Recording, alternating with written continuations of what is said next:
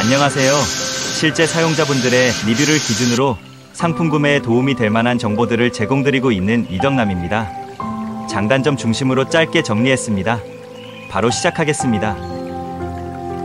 오늘 알아볼 상품은 라베기입니다. 그럼 바로 알아보겠습니다. 5위는 코라 라벨 기계입니다. 수동 라벨기로 유결 인쇄 가능하고 가격 표 기용 제품입니다. 사용처 제한적일 수 있습니다. 4위는 엡손 라벨 프린터기입니다. 가장 많이 팔린 라벨기로 디자인 귀엽고 작동법 간단하여 가정용으로 쓰기 좋은 제품입니다. 3위는 님봇 라벨 프린터입니다. 디자인 만족도 높은 라벨기로 레트로틱한 디자인이 특징이고 블루투스 연결 가능하며 배터리 오래 갑니다.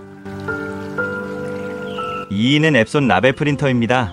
완성도 높은 라벨기로 공장이나 업소용으로 좋고 컴퓨터 연결식으로 인쇄 자유도 높으며 라벨 많이 뽑는 분들 추천드립니다. 1위는 시노링크 무선 라벨 프린터입니다.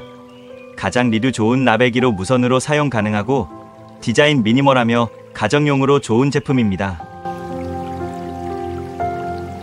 시청해주셔서 감사드립니다. 구독과 좋아요 감사드리고 오늘도 즐거운 하루 보내시길 바랍니다.